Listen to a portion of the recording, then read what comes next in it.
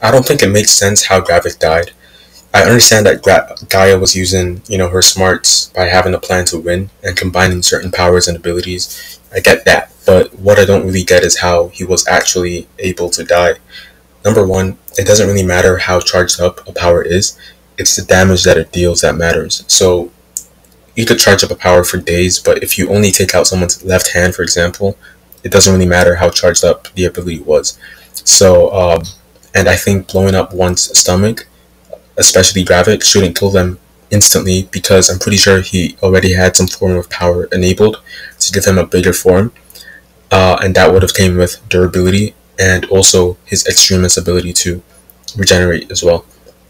Um, also, I said in a comment on IG that I'm pretty sure they should both have a lot more durability, strength, speed, reflexes, and everything that has to do with the physiology normally. But that's if the power works in one of two ways.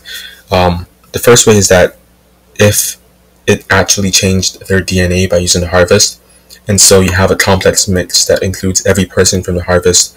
And for example, if you had Captain America, Thor, Captain Marvel, and Thanos DNA, you wouldn't need to activate enhanced durability, strength, and speed.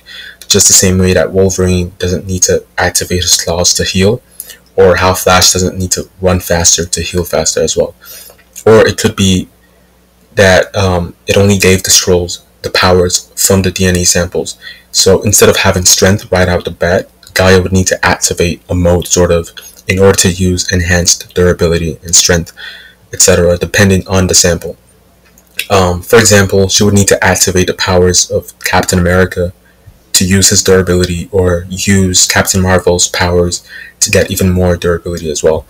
Basically like Sage Mode from Naruto to have stronger punches and stuff like that.